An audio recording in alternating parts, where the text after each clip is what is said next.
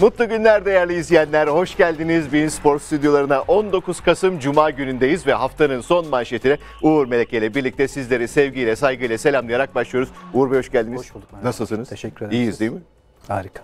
Başlayalım efendim malumunuz hafta sonu oynanacak Galatasaray Fenerbahçe derbisi aynı zamanda da yeni hafta Spor Toto Süper Lig'de yeni haftada başlıyor. Ee, çarşamba gününden itibaren yavaş yavaş istatistiklerle ve haberlerle derbiye doğru e, içerikleri arttırmıştık. Bugün de artık e, büyük oranda derbiyi konuşacağız yine. Yine istatistiklerimiz var, yine pozisyonlarımız var. Bir e, done, bir ipucu her iki takımdan da koymaya çalışacağız. İstatistiklerle ve de pozisyonlarla maç içerisinde yaşananlarla. Ama önce gazeteler elbette Fanatik Gazetesi'nden geliyor ilk başlığımız ekranlara. İki farklı başlık var.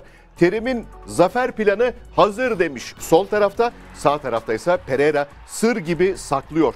Tribünde 52 bin taraftarın desteğiyle derbiye çıkacak olan Galatasaray'da Fatih Terim tüm hücum silahlarını kullanmaya hazırlanıyor. Fenerbahçe'nin zayıf karnı olarak kaleci Berke'yi gözüne kestiren Fatih Hoca oyuncularından tehlikeli bölgede kaleyi gördükleri anda şut çekmelerini istedi. Duran toplara karşı da özel çalışma yapılıyor. Diğer tarafta Fenerbahçe'de başkan e, başkanın tepkisinin ardından Pereira derbiye hangi sistemle çıkacak? Fenerbahçe'de cevabı merakla beklenen soru bu. Portekizli hoca dün Novak, Salah'ı, Kim, Nazım dörtlüsünü denerken zaman zaman Tisserand'ı sağa çekerek yine üçlüye dönme sinyalleri verdi. Pereira son kararını ekibiyle tekrar toplandıktan sonra netleştirecek demiş şu ana kadar çoktan netleştir yani bu, bu elbette gazeteler böyle yazıyor yani ama bence hoca kafasında çoktan netleştirmiştir yani iki gün kaldı derbi maç hala o mu bu mu diye düşünmüyordur diye tahmin ediyorum bence çoktan netleştirmiştir. Benim de dikkatimi çeken bir şey sağdan sola yazılır futbol dizilişler yani bütün dünyada böyledir. Yani bu 100 yıllık bir gelenek yani soldan sağa yazılmaz artık. Genç gazeteci arkadaşlarımızın bu konularda hata yapılabilir bir şey değil bu yani. Şuradan bakayım bu sayfada başka bir şey yok. Geçelim bir ikinci sayfamıza. Milliyet gazetesinden geldi ekranlarınıza. Santra'yı bekleyen sorular. Neymiş bakalım? O her iki takımdan da 6'şar soru çıkarmış Uğur Bey. Hemen okuyorum. Galatasaray ve Fenerbahçe'nin zirve yolundaki kaderini belirleyecek kritik derbi öncesi iki tarafta da cevabı beklenen birçok soru var. Trabzonspor'un çok gerisinde kalan ve lig yarışına tutunmak isteyen ezeli rakiplerin buluşmasında özellikle ilk 11 tercihleri şimdiden merak konusu oldu. 21 puanlı Galatasaray'da cevap bekleyen sorular. 1. Pandemi sonrası ilk kez %100 kapasiteyle oynanacak derbide taraftar baskısı ve atmosfer nasıl etki yapacak? Bu çok cevabın beklenmiyordu ya. Yani E, Celal çok Umut Eren yani. nitelikli bir kardeşimiz. Burada def- sıkça alıyoruz haberlerini. Bakalım Evet. devamına bakalım. 2. Forvet hattında Halil Cagne ve Mustafa Muhammed arasında forma kime gidecek? 3. Romanya milli takımında sakatlanan Morutsa'nın derbi saatine yetişip yetişmeyeceği hala herkesin gündeminde. 4. 2011'den beri derbilerde her zaman yıldızlaşan kaleci Fernando Muslera milli aradan dönüşü ve performansı merak Diğer ediliyor. sorular daha mantıklı. 5. Nelson Marcao savunma ikilisinin derbideki performansı herkesin merak konusu. 6. Galatasaray'daki 4. döneminde henüz Fenerbahçe'ye kaybetmeyen Fatih Terim'in hamleleri de yine gündemin ilk maddesi. Bunlar Galatasaray cephesinden. Peki Fenerbahçe cephesinde cevap bekleyen sorular neymiş gazeteye göre? 1. Son dönemde tartışılan Vitor Pereira'nın derbiye üçlü mü yoksa dörtlü sistemle mi çıkacağı merak ediliyor. Evet bu birinci sıraya yerleşir hakikaten. 2. Herkesin gündeminde olan Mesut Özil'in derbide ilk 11'de olup olmayacağı en çok konuşulan konuşulan- konulardan biri. Ee, hatta bunu bire bile çekebilirmişiz herhalde değil mi? Yani üçlü Yani savunma mı dörtlü her neyse yani. Evet. Mesut birinci bile olabilirmiş. 3. Berke Özer'in ilk derbisinde kalede nasıl bir performans göstereceği tam bir soru işareti. 4. Sezon başından beri istikrar bulamayan Fenerbahçe'de forvet hattında.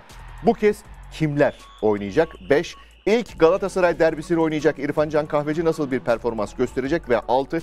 Sakatlığı olan Luis Gustavo'nun derbi maça yetişip yetişmeyeceği henüz netleşmedi. E Gustavo kesin yetişmiyor değil miydi? Dün öyle yazıyordu öyleydi. ama bilmiyorum bugünkü gelişmeleri.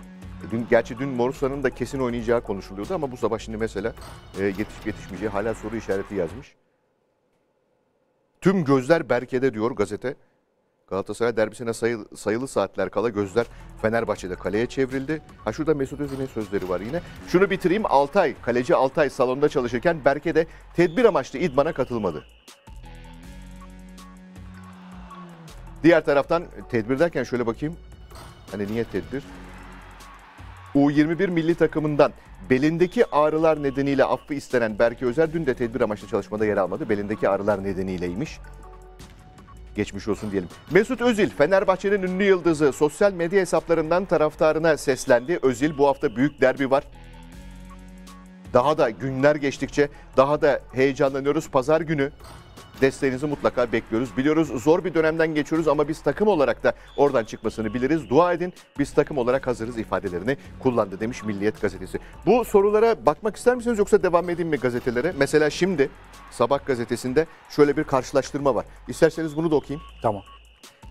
İleri uçta Galatasaray, orta sahada Fenerbahçe. Pazar günkü kritik mücadele öncesi iki ezeli rakip farklı özellikleriyle ortaya çıkıyor. Galatasaray'da forvetler 11 gol ve 5 asistle 16 kez skora katkı sağladı. Kanarya'da ise orta sahada 10 gol 5 asistlik performans sergiledik ki birazdan biz de kendi istatistiklerimizle aynı durumu ayrıntılı bir şekilde getireceğiz ekrana. 7 kez geriye düşen Galatasaray 3 galibiyet, 1 beraberlik ve 3 yenilgi aldı. Fenerbahçe 5 maçın 4'ünü kaybedip birinde berabere kaldı. Evinde aslan kesiliyor.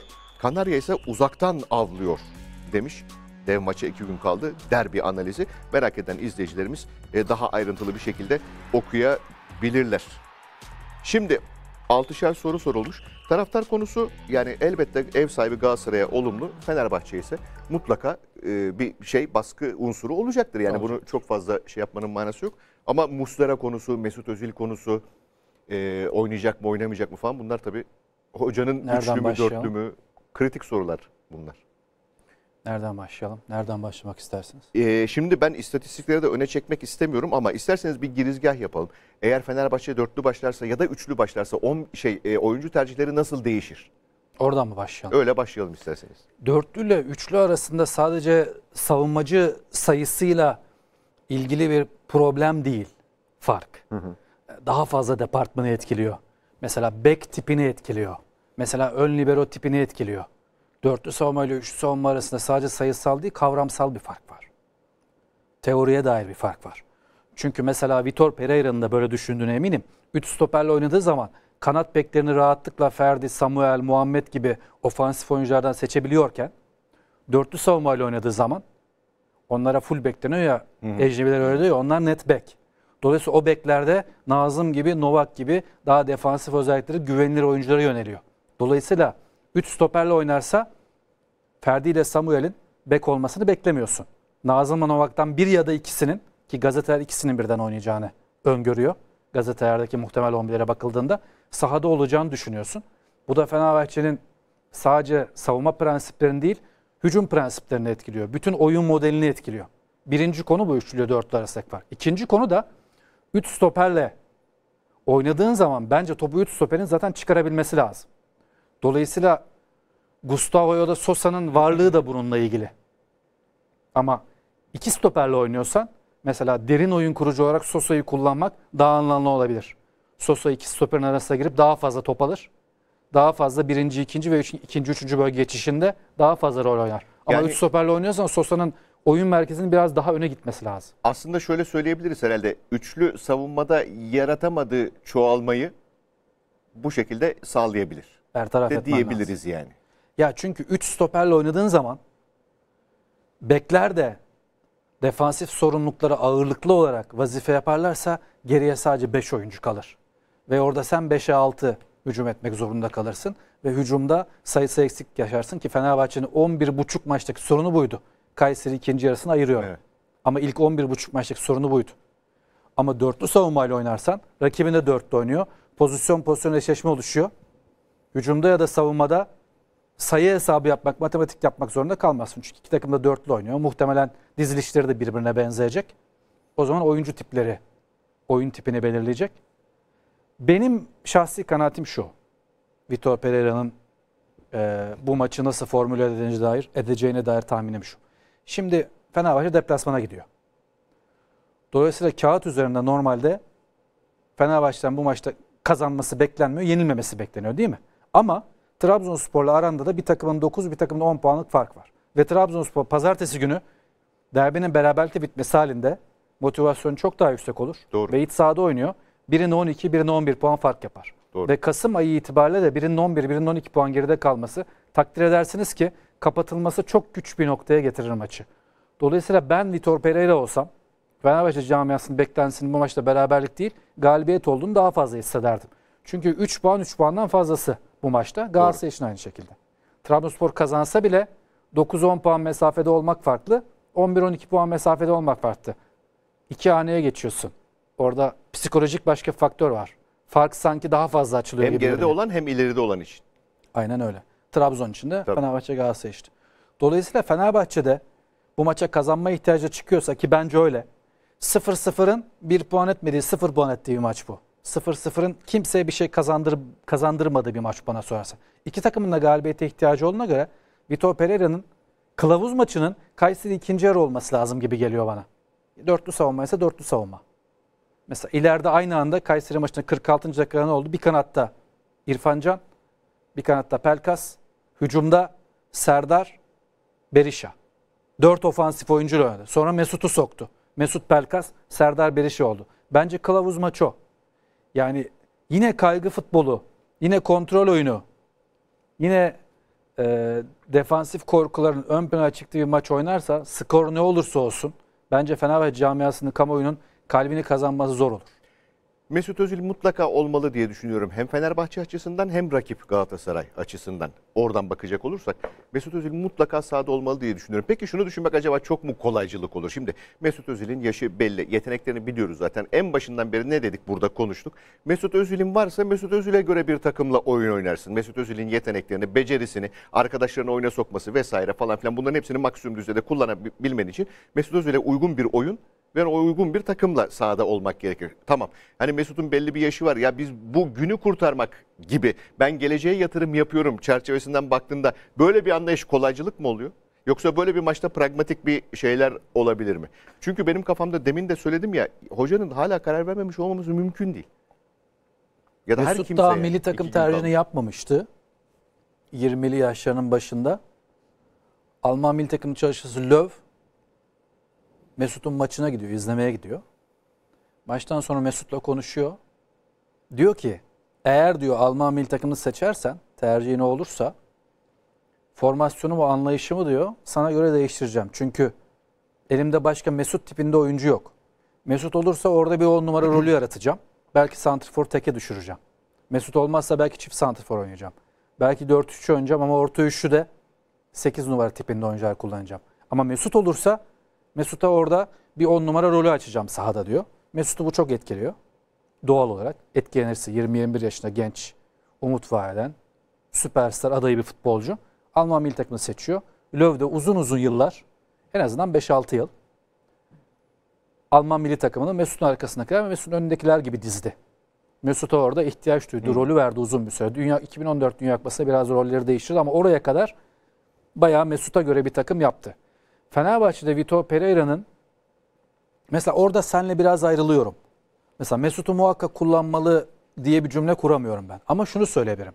Bence 3 yol var.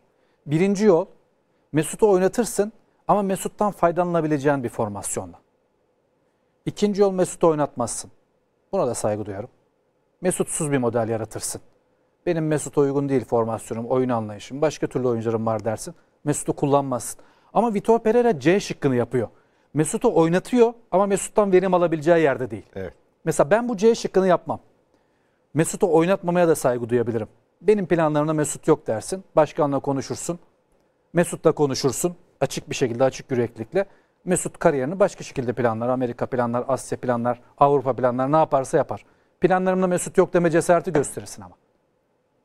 Planlarında Mesut varsa Mesut'tan faydalanabileceğin bir formasyon ve oyun anlayışı kurman lazım.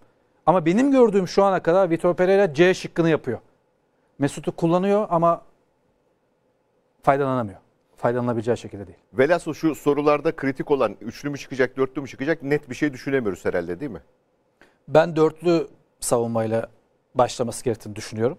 Dediğim gibi üçlü savunma, dörtlü savunma aslında benim meselem değil. Üçlü savunmayla pekala ileride kalabalıklaşabilirsin. Daha fazla ofansif oyuncu kullanırsın, kalabalıklaşırsın. Sezon başından beri hep söylüyorum yani üçlü savunma benim için ana mesele değil Fenerbahçe'de. Ama şunu söylüyorum. Kayseri maçı ikinci yarısında kendi isteğiyle Pereira dörtlü savunmaya döndü. Kendi hür iradesiyle dörtlü savunmaya döndükten sonra takım 4-4-2 oynadı. Ve 4-4-2 ile Fenerbahçe ön taraf daha kalabalıklaşan, daha yaratıcı, daha renkli, daha izlemeye müsait bir takıma dönüştü. O yüzden diyorum. Üçlü dörtlü savunma değil benim meselem. Benim meselem şu. Kayseri ikinci yarıdaki oyun kılavuz. Fenerbahçe'nin Kayseri ikinci yarıdaki oyunu oynaması lazım. O da dörtlü savunmaydı. Bu çerçevede Gustavo'nun yetişip yetişmemesi çok büyük önem e, arz etmiyor. Çok büyük fark yaratmayacak da diyebilir miyiz? Şimdi orta sahada Sosa'yı Kayseri maçına bakalım. Bizim Sosa'yı 11'ler var değil mi dostlar? Muhtemel 11'ler. Onları da getirelim isterseniz tamam. ekrana.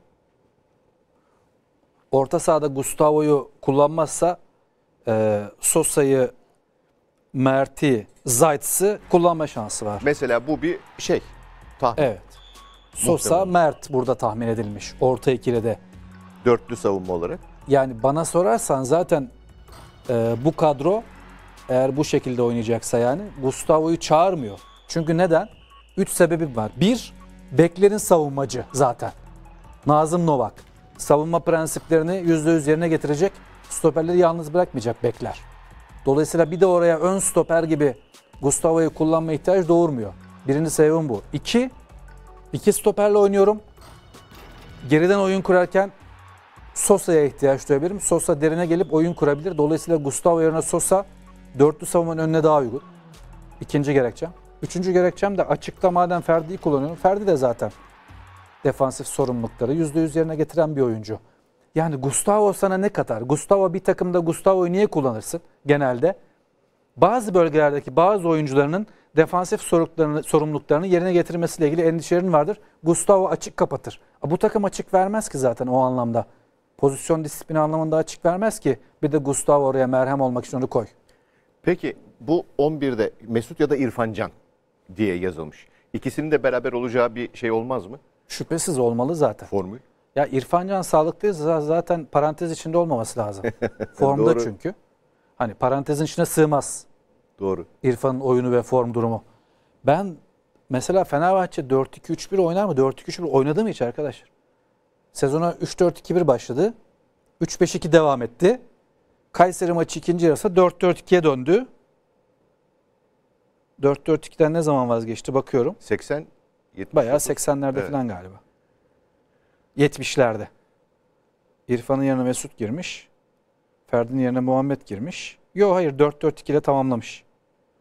Yani 4-2-3-1 de acaba antrenmanlardan gelen bir verimi ona göre mi yaptık? Çünkü şu ana kadar Fenerbahçe ya üçlü savunma oynuyor yani 3-4-3 ya da 4-4-2. Ya da 3-5-2. Bir, bir de üçlü savunma olarak yine tahmin, yine muhtemel 11 hazırlığımız da var. Onu da getirelim. Bu 11.5 maç kullandığı diziliş. Evet. 3-4-2-1 dizilişi. Zaten hani gözü kapalı ezbere Pereira'nın sezon başından beri yaptığı 11 ama hep söylediğimiz gibi 11.5 maç boyunca bu takım ileride kalabalıklaşamadı ve ileri üçlünün bireysel yeteneğine bağımlı oldu. Topu 3. bölgeye taşıdıysa da 3. bölgede şuta dönüştüremedi. Çünkü 3. bölgede kalabalıklaşamadı bu takım. O yüzden böyle başlamasının ha tabii burada Sosa Mert ikilisi ufak farklı çünkü 3-4-2-1 oynuyordu ama daha çok Gustavo'yu da kullanıyordu o ikilinin içinde. Sosa Mert daha yaratıcı bir ikili. Biraz ufak bir rötuş, ufak bir fark var ama bana sorarsan Fenerbahçe geniş kadrosu 25 kişisi daha fazla hücumcuyu hak ediyor. Burada hala dikkat edersen 3 hücumcu var burada. Ben 3 stopere takılmıyorum. Burada hala 3 hücumcu var. İrfan Can, Mesut Berisha. 3 klasik hücumcu var. Oysa Fenerbahçe'nin elinde şu an sakat olsa da Valencia tabii ki dönecek. Serdar Dursun, Rossi, Pelkas. Çok derin bir Rotasyonu var. rotasyon var, forvet rotasyonu var. Bunların sadece üçünü kullanmak bence kaynakların verimsiz kullanımı. Efektif kullanımı değil. Bu kadar oyuncu kaynağın varsa, bu kadar yetenekli oyuncu kaynağın varsa bunların dördünü ilk 11'de bulunduracak bir diziliş yaratmak lazım. Üçünü değil. O açıdan bana çok mantıklı gelmiyor. Peki 3 aşağı 5 yukarı soruları konuştuk. Bir de Galatasaray cephesinde mesela kaçıncı soruydu Uğur Beyciğim? Üçüncü soru. Romanya milli takımında sakatlanan Morutsa'nın derbi saatine yetişip yetişmeyeceği herkes tarafından merak ediliyor. Morutsan ciddi anlamda fark yaratan bir oyuncu Galatasaray'da. Ancak bu şu ana kadar konuştuğumuz Morutsan'la alakalı çok yetenekli, çok becerikli, gelecek vaat ediyor. Hücumdaysa hücum, savunmadaysa savunma. İkisini henüz bir arada yapamıyor demiştik. E, oyunu dolayısıyla ya da nasıl oynayacağı çok büyük fark yaratacaktır. Sahada olup olmayacağı ya da hangi Evet. görevde olacağı çok büyük fark yaratacaktır. Galatasaray'ın muhtemel 11'ini de rica edelim değerli izleyenler. Şey, e, değerli reji. Muslera. Savunma hattı onların önünde Berkan Çıkaldao. Solda Kerem sağda Morussan. Feguli ortada ve Halil el ileri uçta.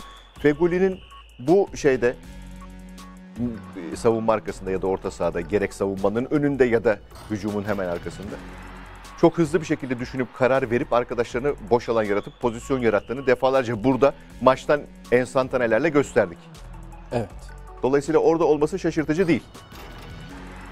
Şimdi Morutsan'la başlayayım dilerseniz. Ama acaba bu savunma şeyi, ya özür dilerim hücum hattı biraz fazla mı geçirgen olur diye de bir düşünmek mi gerekir? Evet? Galatasaray ana, ana meselesi bu zaten bu sezon. Berkan Taylan'dan birini kullandığında acaba geçirgen mi olur diye endişe duyuyorlar. Berkan Taylan'ın ikisini kullandığında da yaratıcılık eksik oluyor. Zaten Galatasaray'ın bu sene ana problemi bu oldu. İşte Lazio gibi, Marsilya gibi maçlarda Berkan Taylan'ı bir arada kullandı ve sonuç aldı. Biri 1-0, biri 0-0 bitti deplasmandaki iyi sonuçlar. Ama onlar Lazio Marsilya'ydı sonuçta. Biri İtalya Ligi'nin, biri Fransa Ligi'nin zirve takımları. Ama ligde Berkan Taylan'ı bir arada kullandığında da yaratıcılığı eksik bir Galatasaray oluyor.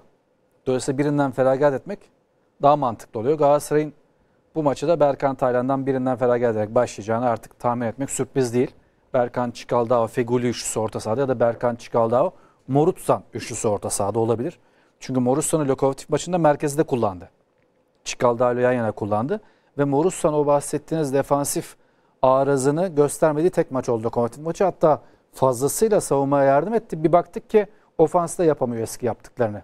O kadar defansa kanalize oldu ki bu sefer ofansta eski yaptıklarını yapamayan bir Morutsan çıktı ortaya. Biraz Ferdi Samuel şeyine benziyor ikilemine. Mesela Ferdi ile Samuel aslında çıkışlarına baktığın zaman Fenerbahçe'ye geldiği zaman Ferdi alındığında transfer edildiğinde Ferdi'nin pozisyonu neydi? 10 numara. Samuel geldiği zaman Ferdi'nin e, Samuel'in pozisyonu neydi? Championship'te açık oyuncusuydu. Kanat oyuncusuydu. Şimdi onları kanat beki yaptı Pereira. Bakıyorsun defansif sorumluluklarımızı yerine getirelim diye o kadar tutkulular ve o kadar kaygılılar ki eski ofansif katkılarını yapamıyorlar Ferdi ile Samuel. Savunmayı beşli tutalım, aman yerimizi kaybetmeyelim, top rakipteyken stoperlerin hizasına gelelim diye o kadar takıntılılar ki Ferdi ile Samuel'i ön alanda o kadar görmüyoruz. İşte o yüzden söylüyoruz ya aslında hocanın ne demek istediğini çok iyi anlamış takım. Evet o tespitinde çok haklısın. Yani orada mesela kamuoyunun dediğinin aksine sen diyorsun ki haftalardır hocanın dediklerini yapıyorlar. Aynen öyle. Hoca onu Mesela istiyor. kamuoyu diyor ya yapmıyor. Milim şaş- şaşmıyor. Futbolculara şey çıkarmamak lazım. Esas mesele zaten hocanın dediklerini yapmak. Evet. Durum o yani orada. Bazen bu örneği veriyorum. 2006'da Roma'da bir salon turnuvasında lateral kanat oynamıştım. Hoca diyor ki top rakipteyken rakip yarı sahaya geçme. Yani kendimi tutamıyorum. Gencim zaten. Top rakipte geride pas yapıyorlar. Orta saha çizgisine geliyorum. Hoca sesleniyor laterale. Duyuyorum oradan ama duymazdan geliyorum. Rakip yarı sahaya bir adım atıyorum. Sesin tonu daha çok yükseliyor. Ferdi ile Samuel'in yaşadıkları biraz bu. Çünkü kafada o kodlanma var. Hoca kodlamış. Top rakipteyken diyor stoperlerin hizasına gel diyor. Savunmayı beşle. Burada defalarca görüntülü analizlerini yaptık. Evet. Top rakipteyken Fenerbahçe'nin ne kadar geriye yaslandığını ve önde baskıyı ne kadar eksik yaptığını. Önde baskı yapamazsın ki beşli savunma tek hat halinde dizildiği zaman. Tekrar şeye dönecek olursak, Monosan'a dönecek olursak hangi rolü eğer oynayacaksa hangi rolü üstleneceği önem arz edecek Galatasaray. Doğru. Hangi Morutsan? Ligde defansif sorumluluklarını eksik yapıyor diye eleştirdiğimiz Morutsan mı? 45'te hocanın çoğunlukla oyundan Çıkardı. aldığı Yoksa Lokomotiv Moskova maçında muazzam e, defansif veren. katkı yapan ama ofansif olarak yaratıcılığı eksik kalan Morutsan mı? Bunu bilmek zor. Ama Galatasaray'ın Fenerbahçe'ye göre daha az soru işareti var. Ya e, orta sahada Berkan Taylan'ı bir arada kullanıyorlar tek santrfor ya da Berkan Taylan'dan birini kullanıyor çift santrfor şimdiye kadar. Halil Muhammed Halil Cagne gibi bir ikili de olabilir. Orta sahayı Berkan Çıkaldağ yaparsa. Ya da o bir opsiyonu orta sahayı Berkan Çıkaldağ Feguli olarak yaparak da kullanabilir. Yani orada bir boşalan kontenjanı ofansif oyuncu rolünü Feguli'ye de verebilir. Bence iyi de olur. Çünkü Santrfor'un tek Santrfor'un Halil olacaksa bir defa Halil'e araya koşu yapabilecek topları atabilmen lazım. Ve Galatasaray orta sahası bu topları atamıyor Feguli olmadığında orada. O topları atabilen adam Feguli. Halil mesela Cebeli Tarık maçında Daha verimli bir hali gördük. İki tane gol attı. Üçüncüsü de sayılmadı. Niye ona ara topları atıldı? Türkiye milli takımında Hakan, bir de o gün Burak da biraz gezen dolaşan santrfor gibi oynadı. Halil'i besledi. Galatasaray orta sahası Berkan Taylan Çikaldağ olunca Halil'i besleyemiyor. Halil çok fazla geriye geliyor. Dolayısıyla Halil'in gol sayısı, şut sayısı, pozisyon sayısı düşüyor. Topla tehlike bölgesinin dışında buluşuyor yani özetle. Aynen öyle. Yani Halil tek santrfor oynayacaksa bence Fegoli bir mecburiyet. Çünkü Halil'e anlam kazandırıyor. Onu Ama da çift defalarca oynayacaksan gösterdik. farklı. Çünkü çift santrfor oynayacaksan Halil Gezen doluşan ikinin santrfor olur sorun yok.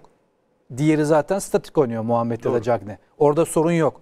Ama tek santrfor Halil oynayacaksan arkasına Fegoli gibi bir yaratıcıya ihtiyacın var. Kerem, Kerem Aktürkoğlu son derece formda, istim üstünde. Onun varlığı nasıl, oyunu nasıl etkileyecekti? Galatasaray oyunu sola yıkacak diye herkes kabaca tahmin edebilir herhalde. Sezon başından beri zaten soldan 8, sağdan 2 gol var. Oyunu zaten otomatik olarak farkında olmadan, bilinçsiz bir şekilde asimetrik, sola yatık bir şekilde oynuyorlar. Hem Markaos, Ostoper oyunu oradan kurmasının etkisi var. Ee, Berkan'ın oraya yaklaşmasının etkisi var. Hem Kerem'in orada olmasının. Kerem sağda olunca da oyun sağa geçiyor. Kerem gerçekten Galatasaray oyunun yönünü belirliyor. Çünkü top istiyor, açığa çıkıyor. Orta sahaya geliyor, orta sahayla bütünleşiyor. Pas trafiğine katılıyor. Nazar değmesin. Türk futbolu içinde çok önemli bir aset. Sezon başında şöyle söylediğimizi hatırlıyorum. Ayaklarının hızı düşüncesi pardon düşüncesinin hızı e, ayakları yetişemiyor. Doğru. Yani hızlı düşünüyor ayakları. Şimdi onu dengeledi galiba değil mi? Tam Gelişiyor, söyleyebildim mi? Söyledin. Yani hızlı çok hızlı düşünüyor ancak henüz vücut onu e, yapacak kadar şeyde değil. Ama son dönemde herhalde son bir 4-5 maçtır falan onu da dengelediğini söyleyebiliriz. Bir de şeyi arttı. Ee, doğru vuruş seçimi. Daha doğru kararlar alıyor. Doğru yerlerde şut kullanıyor ve panik gol atıyor. yapmadan demek ki daha sakin O da gol istatistiğini artırdı. düşünmeye başladı. Kerem sezon başından beri karar alma ile ilgili gelişti. Doğru. Nerede dripling, nerede pas, nerede pas, nerede şut, nerede Ve asist. çok hızlı yaptı bunu. Mesela Cebel Tarık Bravo. ilk gol orada savunmanın arasına girmesi, 2-3 kişinin arasına alması müthiş bir karar. Çünkü ağır adamlar doğru karar gol getirdi. Kerem Aktürkoğlu hani Cengiz dışında da Türk futbolunda gözü kapalı 11'e yazabileceğimiz bir kanat bulamıyorduk uzun zamandır. Şenol Hoca da Kenan'ı kullanıyordu ve hiç verimli olmuyordu. Kerem de o anlamda gözü kapalı 11'e yazabileceğim bir opsiyon oldu. Ee, Hem Türk futbolu için hem Galatasaray için büyük kazanç. Tabii Fenerbahçe'nin oyun anlayışını da etkiler. Kerem'in varlığı. Çünkü e, diğer kanatta Galatasaray oyun kurucu tipli kullanıyor. Sağ açıkta ya Morutsan, ya Feguli, ya Emre Kılınç. Onlar çalımcı değil. Onlar bir anda dripling lavuk çizgisine inmiyor. Dolayısıyla onları savunmak başka türlü bir mesele. Ama Kerem'i savunmak farklı. Kerem'i 2-3 metre gözden kaçırdığın zaman Kerem bir anda dripling yapıyor. Bir anda sana 3 metrede 5 metre fark yaratabiliyor. O yüzden Kerem'in hangi kanatta oynadığı bile Fenerbahçe'nin bek tipini etkiler. Belki Pereira o yüzden bekleri konusunda karar veremiyor. Çünkü Kerem bazen solda başlıyor, bazen sağda başlıyor. Şimdi Kerem'in sağda başlayacağına emin olsa Novak'ı kullanır muhtemelen. Ama emin değilsin ki. Kerem'in solda başlayacağına emin olsa Nazım'ı kullanır. Ama belli olmuyor. Terim de çok akılcı bir şekilde Kerem'in yerini değiştiriyor. O da bek tiplerini etkiler Fenerbahçe'nin. Bir Kenan Karaman dedin tamamen kopardın beni şeyden. Direkt aklıma e, maç öncesinde, milli ara öncesinde Stefan Kuntz'la milli takım e, A milli futbol takımı teknik direktörü Stefan Kuntz'la yaptığımız toplantı geldi. Bak e, Kenan Karaman'la ilgili sözlerini özellikle not almışım. E, Kenan Karaman faydalı oyuncu.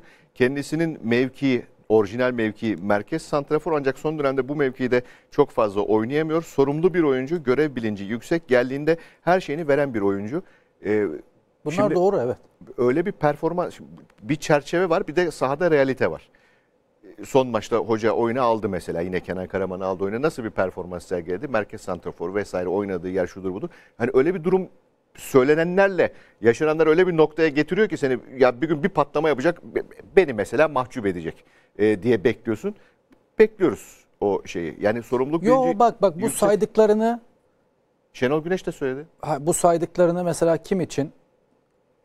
Ee, Gaziantep'te Doğan Erdoğan için. Gaziantep'te Doğan Erdoğan'dan bu saydıklarını bir daha sayar mısın? Veya Soner Dikmen Konya sporlu. Kenan Karaman faydalı oyuncu. Kendisi, Soner diyelim başlık. Soner faydalı oyuncu. Kendisinin orijinal mevkisi merkez Tamam, santrafor. Ancak son dönemde burada fazla oynayamıyor. Başka mevkide oynuyor. E, sorumlu bir oyuncu. Görev bilinci yüksek. Geldiğinde her şeyini veren Soner. Dikmen de öyle. Niye milli takımda değil? Geldiğinde her şeyini veriyor. Sorumlu. E biraz Pozisyon herhalde bilinci yabancı yüksek, dil çalışkan. vesaire Almanca Demek aynı ki yetmiyor. konuşuyor olmaları mı acaba? Doğan Erdoğan da çok sorumlu oyuncu. E yani. Ama yetmiyor demek ki. Neyse işte konuyu dağıtmayalım da bir an öyle söyleyince gitti oraya. O olmuyor Necip yani. Uysal. E, yani. Tüm bu tanıma uymaz mı? U- Niye A uymaz milli olur takımda mu? değil o zaman? Demek ki yetmiyor A milli takımda olmak için. Necip Uysal'ın sorumluluk Görev bilinci, bilinci. görev bilinci, yüzde yüzünü sahaya bırakması, her öyle. şeyini vermesi tartışabilir misin? Niye A milli takımda değil? Kesinlikle. Demek ki yetmiyor. Başka şeyler lazım A milli takımda olmak için. Şimdi e, ha şey soracaktım o gazetenin soruları üzerinden bir de Nelson Marka ikilisinin performansı bunu tartışmaya herhalde gerek yok. Yani merak edilen bir de. şey değildir yani. Markao'nun dönüşüyle beraber sadece savunmanın göbeği değil orta sahadaki savunmanın önünde oynayan oyuncular ve hatta yanlarında oynayan oyuncuların bile rahatlığı, güveni ya da hata yapma marjları azaldı net bir şekilde. Oyun Tolga kurmayı bir- bahsetmiyorum. Onların oynadığı maçların grafiğini yapmıştı. Nelson Marcao'nun bir arada oynadığı maçların sonuçları. İstatistiklere mi geçelim O diyorsun? hazır mı? Yok sadece var. onu şu anda hani yeri geldi diye söylüyorum. Ama o zaman şimdi bak şöyle yapalım. Hatta ben sana o sayfayı bulayım ve ondan sonra da istersen istatistiklere... Verdi ekrana. Verdi mi? Vay benden hızlılar. Ben hala bulamadım. Şuradan okuyalım. Ee, Marka Nelson ikilisinin birlikte oynadığı maçlarda mesela toplam kaç gol olmuş? 4. 7 Dört. maç 4 gol. 7 maçın Ha. 4'ünde kaleyi kapatmışlar. Ve sadece dediğim gibi şeyde değil. Savunmanın göbeği meselesi değil. Takım savunmasına da çok büyük katkı sağlıyorlar. Galatasaray'ın kaybettiği bir maç var 7 maçta. Sadece 3'ünde gol yemiş. Şöyle- 4'ünde gol yememiş. özetleyebiliriz belki. Marka yokken Nelson tırnak içerisinde sıradan bir oyuncu olacak mı olmayacak mı diye düşündürürken Marka ile beraber öyle düşündürtmüyor. Evet. Net bir şey görüntü Seviye itibariyle. atladı. Veya Nelson yokken Marcao'da zaman zaman sıkıntı yaşıyordu. O da üzerine koydu. Zaten İyi stoper pozisyonu böyledir. Futbolda partnerine en bağımlı pozisyon stoperdir. Uyfalucu Görev Semih örneğini veririm hep. Bravo. Uyfalucu Semih oynarken Semih milli takıma gitmişti.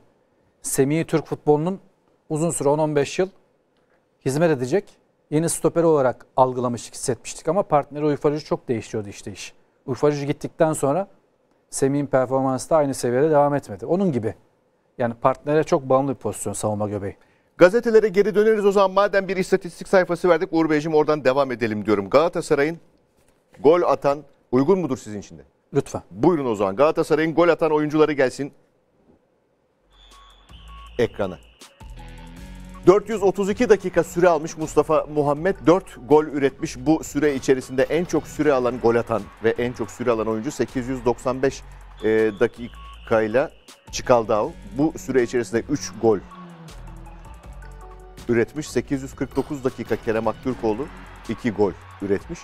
7, 10, 12, 14, 15, 16, 17, 18. Ya zaten 18 golü vardı ya Galatasaray'ın. Ben de Tüm golleri vermiş. Tüm goller tabii bunlar gol atan oyuncular. Ee, en verimlisi Mustafa Muhammed diyebiliriz herhalde. Öyle görünüyor. Santrfor. Santrforların katkısı konusu 4-1-1-6 gol. Biraz eksik gibi görünüyor Galatasaray. Daha fazlası olabilirdi. 12 maçta Santrforlara 6 gol.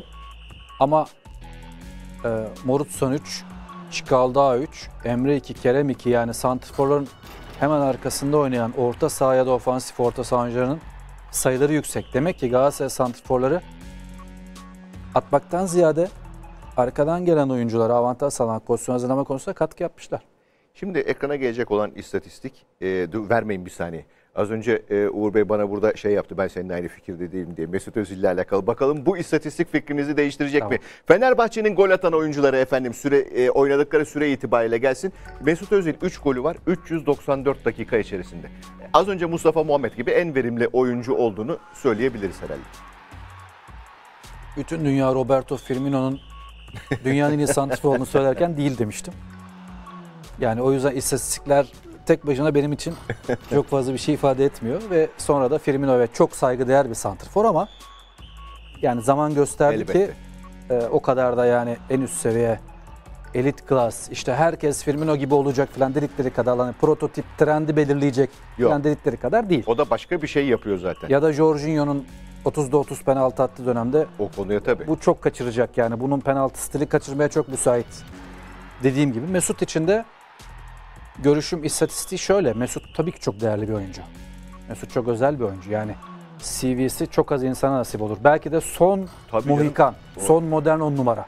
Hani 10 numaraların Mesut Özil ile beraber futbol sahasında azaldığını, son bilinen prototip trend 10 numaranın Mesut Özil olduğunu bile söyleyebiliriz. Türk futbolu için değil, dünya Aynen futbolu öyle. için Çok ikonik bir oyuncu. Ama pasaportunuzla, kafa kağıdınızla kavga edemiyorsunuz. Şu anda 33 yaşında. Elbette. Tabii ki 23 yaşındaki performansını vermiyor. Söze başlarken de belirtmiştik zaten artık. Aynen öyle. Dolayısıyla Yaşı var. A şıkkı Mesut'u kullanacaksan Mesut'a uygun bir formasyonla oynaman lazım. Mesut'a özgürlük verebilmen lazım. B şıkkı Mesut'u kullanmayabilirsin. Buna da saygı duyuyorum. Ama Pereira C şıkkını yapıyor yani. Mesut'u faydalı olamayacağı bir yerde kullanıyor. Bir şekilde kullanıyor. Ee, o da Mesut'a da faydalı değil Fenerbahçe'de. Bu burada Miha Zeiss biraz e, hani şaşırttı diyebilir miyiz acaba bu liste içerisinde?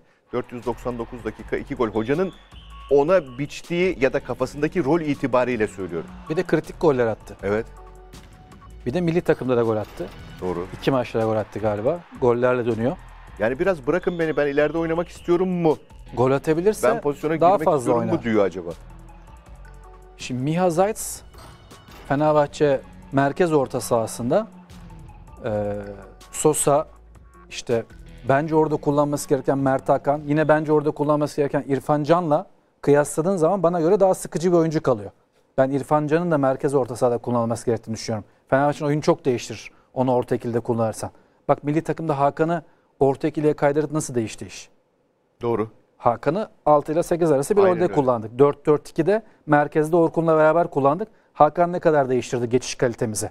Halbuki neydi hep ezberimiz? Hakan 10 numara oynamalı diye düşünüyorduk.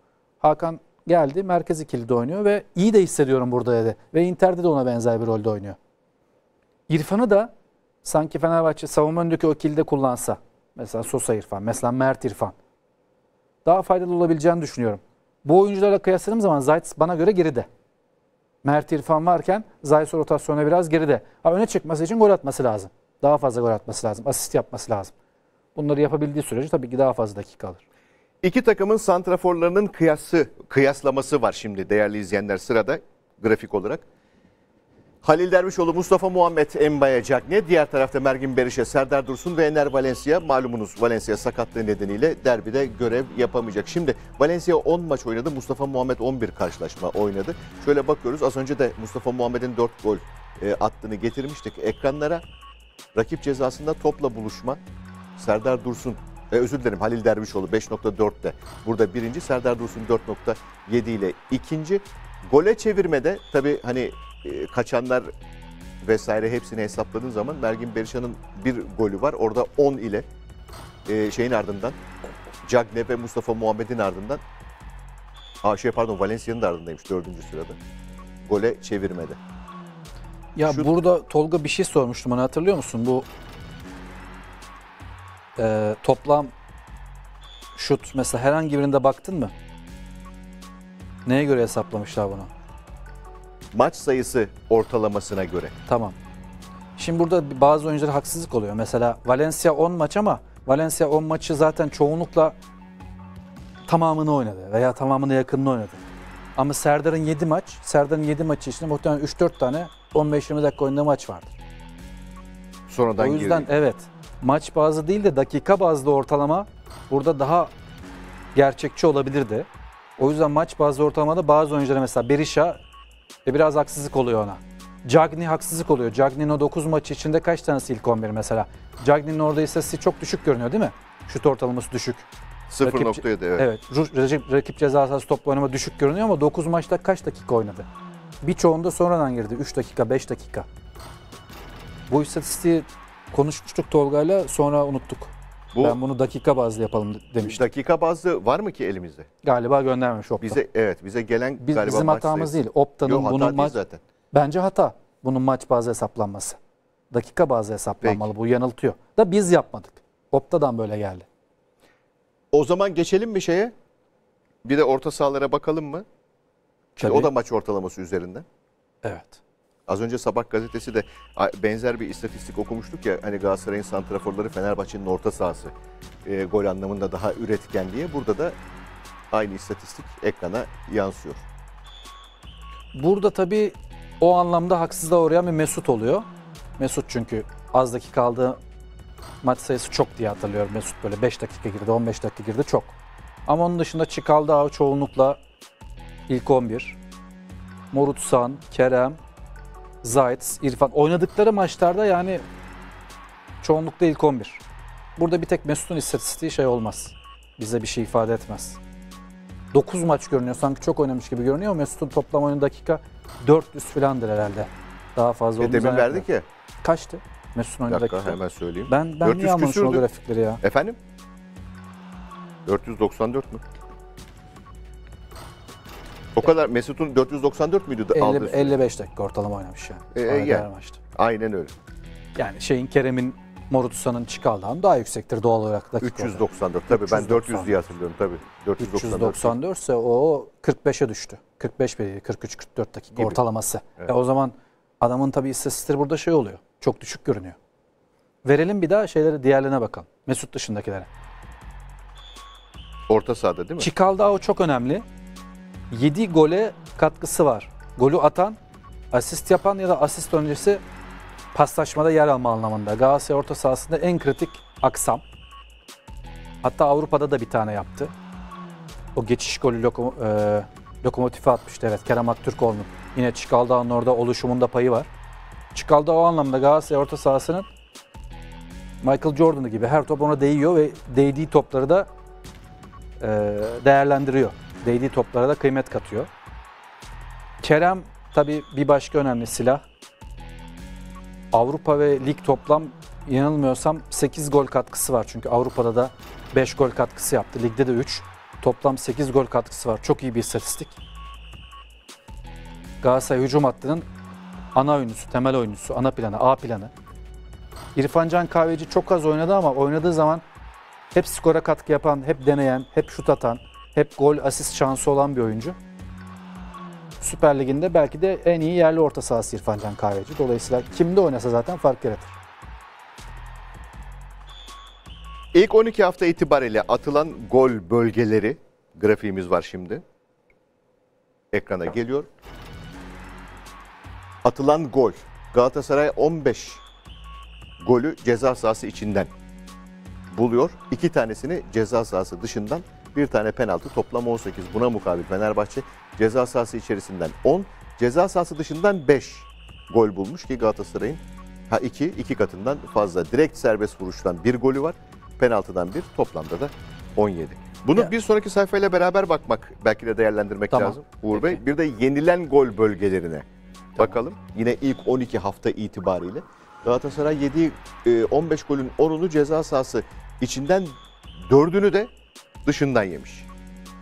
Fenerbahçe yine ceza sahası içinden kalesinde 10 gol görürken ceza sahası dışından 2 gol yemiş. Attıklarına baktığımız zaman Fenerbahçe'nin ceza sahası dışından 6 oluyor o zaman. Direkt serbest vuruşla beraber. Akan oyunda 5. Bir de direkt serbest vuruş 6. Doğru.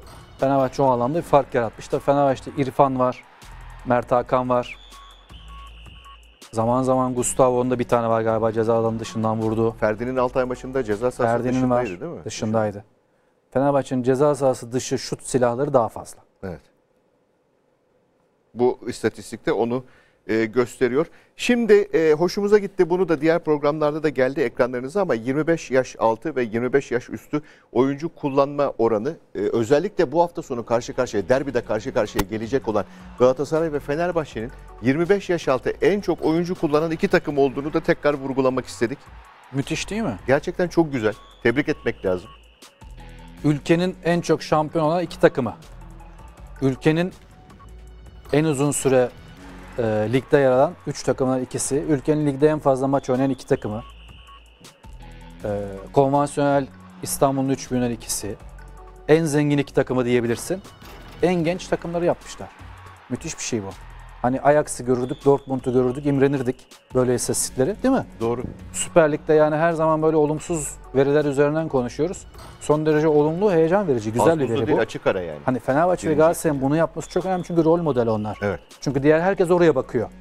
Fenerbahçe ve Galatasaray'ın 25 yaş altı neredeyse %50 oyuncu kullanması zaten milli takımında Karadağ ilk 11'inde 8 oyuncu 25 yaş altı. Doğru. Milli takımımız da öyle.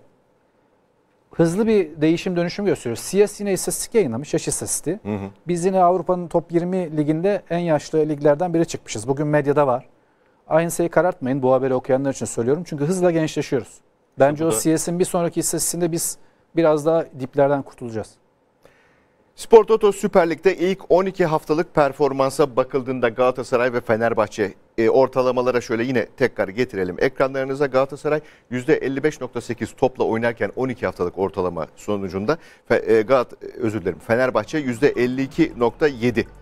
Yalnız Galatasaray'ın iç sahası Fenerbahçe'nin deplasman performansı Hı, bu. Tamam. Toplam değil. Galatasaray'ın iç saha ortalamaları ile ilk 12 haftada, Fenerbahçe'nin deplasman ortalamaları ilk 12 haftada. İsabetli pasların birbirine yakın olduğunu söyleyebiliriz. Rakip yarı sahada isabetli pas ortalaması. Galatasaray evinde oynarken yüzde yet- e, özür dilerim 79'u bulmuş. E, Fenerbahçe deplasmanda oynarken 76.5'i bulmuş. O Toplam da çok farklı değil.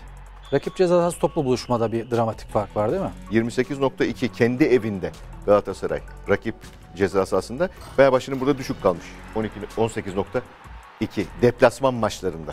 Ya Galatasaray'ın iç saha istatistiğinin Fenerbahçe'nin deplasman istatistiğinden daha iyi olması normal.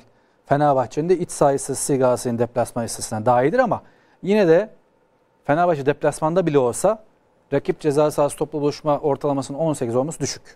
Çünkü bu takımın adı Fenerbahçe. Şu en alttaki e, gol beklentisi ile attığı gol ve gol beklentisi farkını nasıl değerlendirmek lazım?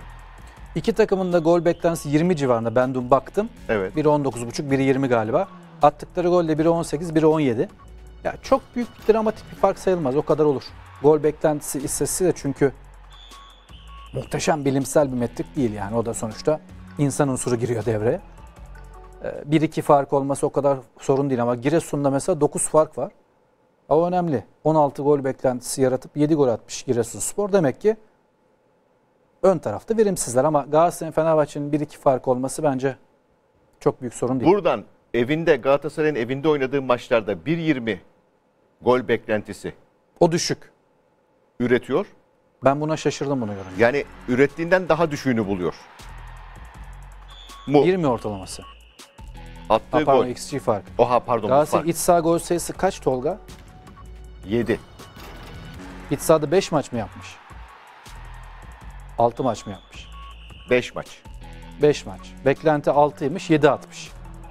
Yani zaten düşük. Beklenti de düşük Evet. attığı gol de düşük. Galatasaray iç sahada 5 maçta 1.20 beklenti yaratıp 1.40 ortalama gol atması düşük. Ama bunu da Berkan Taylan'ı bir arada kullandığı dakikalara ben fatura ediyorum. Berkan Taylan'ı bir arada kullandığı zaman iç saha maçlarında yaratıcılığı hep düşük kaldı. Ee, dolayısıyla Üretkenlik. üretkenlik. düşünce gol beklentisi ve gol de düşer. Demek ki Galatasaray'ın iç saha performansını artırması lazım. Buradan net bir şekilde bu istatistik onu söylüyor. Yani bu gerçekçi bir istatistik. Bu istatistik değerli. Ekleyecek bir şeyiniz yoksa son sayfamıza gidiyorum. Tabii. Duran top sonrası yenen goller. Ha, bu da enteresan. Korner sonrası Galatasaray ve Fenerbahçe her iki takımda ikişer gol görmüş. Serbest vuruş sonrası yine birer gol. Direkt serbest vuruş. Penaltılarda zaten sayı Çok iyi bir veri bu. Bir Tebrikler. 3 tane Galatasaray duran top ve sonrası gol yemiş. Fenerbahçe 4 tane duran top ve sonrası. İki takımına duran top savunmasında e, sorunlar yaşandığını, iki takımın da alan savunmasına zafiyet verebildiğini konuşmuştuk. dün ha, buyurun özür dilerim. Dün de korner ofanslarını vermiştik değil mi? Ama bugün Yani- defanslarını vereceğiz. Hücum ederken e, kornerlerde ne yapıyor her iki takım? Bugün de e, rakip korner atarken her iki takım ne yapıyor diye. Şöyle akışımızdan bakalım. Önce hangisiyle başlıyoruz sevgili dostlar? İlk, ilk pozisyonumuz Kayseri Spor maçından. Peki Kolovetsios'un korner golü. Korner atılsın. Ha burada tabii dur bir saniye atmadan önce şunu belirtelim. E, her maçta yani Galatasaray'ın ve Fenerbahçe'nin oynadığı son maçlara baktık. Her maçta rakipler 3 tane, 4 tane, 5 tane korner atmamış. Çok fazla korner şeyi vermemişler rakiplerine. Dolayısıyla birkaç maç geriye gitmek e, zorunda kaldık. 7'şer tane aldık değil mi dostlar? Tolga. 1, 2, 3, 4, 5, 6. Tamam. Bu e, Kayseri Spor maçındaki Emran kullandı. Korner ki zaten burada kalesinde golü gördü. Savunmada tam vurma anında pilottan duralım. Bakalım nasıl beklemiş. Tamam. Alan savunuyor Fenerbahçe. Alanın dışına öne bir oyuncu koşu yapacak. Yanlış hatırlamıyorsam bunu. Attıralım. Devam.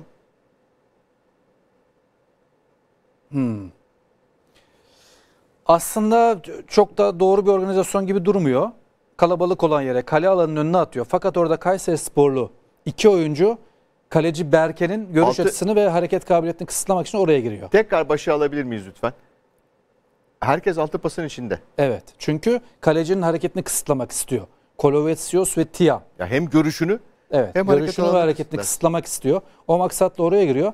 Fenerbahçe oyuncuların orada Berke'nin önünde duvar oluşturmaları lazım. Dikkat edersen Berke'nin önünde Fenerbahçeli yok. Berke'nin önünde Kayseri Sporlar da Berke'nin hareketini biraz kısıtlıyor ve hataya zorluyor. bu kadar kalabalık müsaade etmemek mi gerekirdi acaba? Ona Şimdi yapılacak hocam bir şey çok, var mı? çok basit. Altı pasın içinde çünkü. Tamam çok basit bunun çaresi. Fenerbahçeli 1-2 oyuncu Berke'nin önünde baraj olacak ve Kayseri Sporlu oradan uzaklaştıracak. Çünkü kornerde top altı pas için atılıyorsa orası bir pozisyon oyunu. Pozisyon kapma oyunu. Sen o pozisyonu bırakırsan Kayseriler alır. Fenerbahçe savunmasının burada bariz bir hatası var. Berke'nin önünü almamışlar. Berke'nin önünde orada bir iki kişi kalabalıklaşırsın. Kolovetsiyosu ve Tiam'ı oraya yaklaştırmamaya çalışırsın. Böylece Berke'nin hareket kabiliyeti artar. Hatalı. Fenerbahçe savunması burada. Berke'nin önünde Kayserili oyuncuları yaklaştırdığı için hatalı. Berke'yi de hataya zorluyorlar. Ya tabii Berke'nin çıkışı da hatalı. Yani bireysel hata diye de yazabilirsin bunu ama Şuradan bak. %70 bireysel hataysa %30 da Fenerbahçelerin hiçbir şeyin farkında olmaması. Berke'nin görüşünün ve hareket alanının kapatıldığına dair hiçbir şeyin farkında olmaması. Top yakın, Tiam değil mi vuran? top yakın Tiam, bir şey Tiam olmuş. kaleye 3 metre mesafeden kafa vuruyor. Tiam'ın önünde orada Fenerbahçeli olması lazım. Bak Tiam'ın bak Tiam'ın bak. Tiam sarı kafa. Evet Ne evet. kadar rahat vuracak. Ya o Tisserand'ın kadar kaleye yanında yakın. Mert Hakan'ın arkasındaydı. Şimdi Salah'ın Tisserand önünde. Berke'nin önünde Berke'nin hareketini Tiam'ın kısıtlamasını engelleyen rolde olması lazım. O bölgede bu kadar kara- kalabalık rakibi bırakmamak gerekirdi. Ya girebilirler oraya. Girebilirler ama ben kalecimi korumam lazım savunma Doğru. oyuncusu olarak. Kaleciyi korumuyorlar. Bir sonraki e, korner atışı e, köşe vuruşu şey Ko- e, Konya Spor maçında. Konya Spor'un 9. dakikada Serdar Gürler'in attığı. Yine atmadan önce pilottan görelim nasıl beklemiş. Bu şimdi Fenerbahçe'nin rakiplerinin kullandığı son kornerlere bakıyoruz değil mi? İki Geriye kişi doğru. bek koymuş hoca topun Geriye başına. doğru bakıyoruz. Geriye doğru evet. Evet Konya takımında bu bir alışkanlık Aykut Kocaman döneminden kalan. İçten dışa mı dıştan içe mi kullanacak kafa karıştırmak istiyorlar. Çünkü bu korneri Serdar atarsa içten dışa atacak. Gilerme atarsa dıştan içe atacak sol ayakla. Dolayısıyla Fenerbahçe savunması yer konusunda bir kafa karışıklığı yaşayabilir. Gilerme mi vuracak, Serdar mı vuracak? Maksat o. Burada Fenerbahçe yine alan savunuyor. Alanın dışına koşu yapmaya çalışıyor ama geç kalıyorlar. Çikaleşi'den önce karşıladı Valencia Fenerbahçe. sanırım karşıladı. Bir sonraki 15. dakikada Gilerme atsın korneri. Diğer taraftan. Fenerbahçe yine 7 oyuncuyla tek hatta alan savunuyor. Konyalılar uzakta koşarak gelecekler. Koşarak ve yüksek momentumla gelecekler.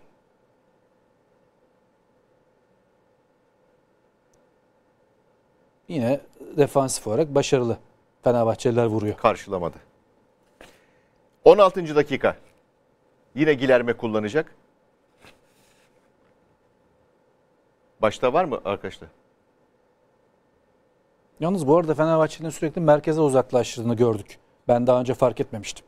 Ha buradan başlıyor. Peki en e, onun birinci karesine dönelim lütfen. Şurada.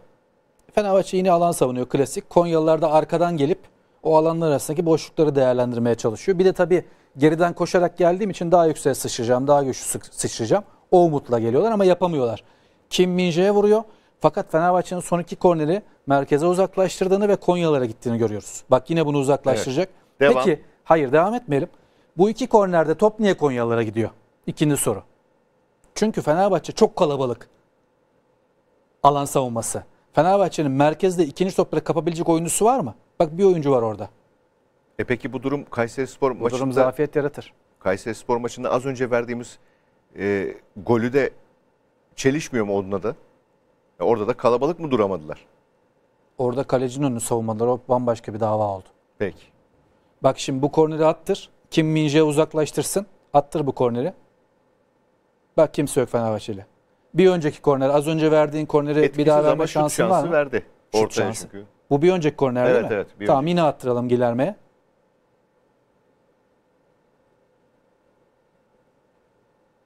Yine vurdu Fenerbahçe. Rakibe Yine gitti. Konyalara Evet. gitti. Niye? Çünkü ceza yayı çevresi zaten full Konyalı ve daha net bir pozisyon ürettiler hatta. Demek ki Fenerbahçe'nin korner uzaklaştırmalarını merkeze yapması durumunda bir zafiyeti var. İki tane daha kaldı. 32 Peki ve ne yapabilirim? 60. dakika. Onlara da bakalım isterseniz. Bakalım tamam. 32'ye gidelim dostlar. Ama şimdi burada bir patern oluştu. Onunla ilgili bir şey söyleyelim. Şu ama bakalım bunlara da bunlar farklı bu mı farklı biliyor musun? Bilmiyorum ki. Farklıysa Bir bakalım bunlara bunu da. paslaşarak Burada kullanmış. paslaşarak.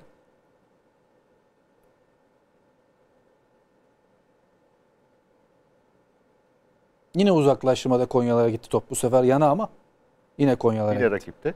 Yani Hemen- Fenerbahçe kornerden sonra dönen topları toplayamamış.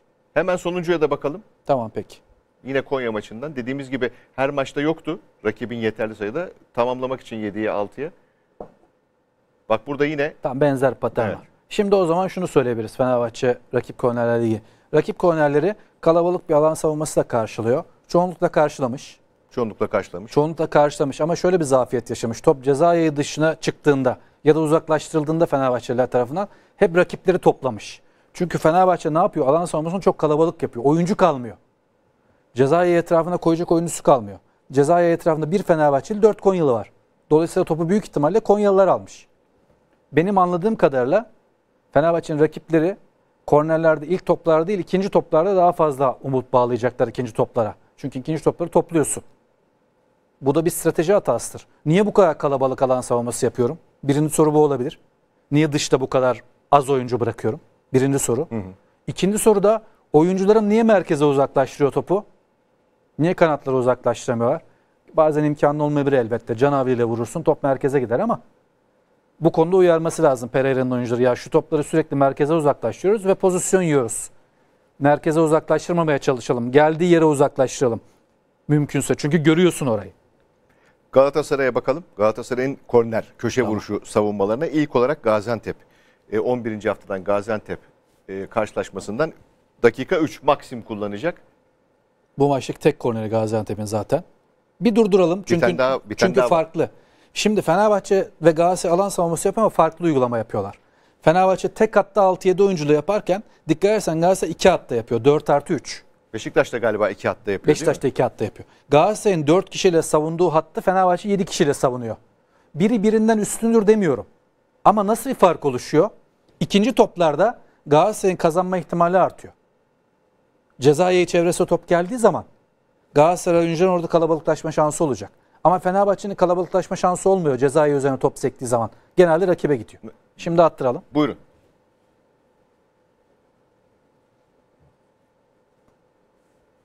Gelecek şimdi. Devam.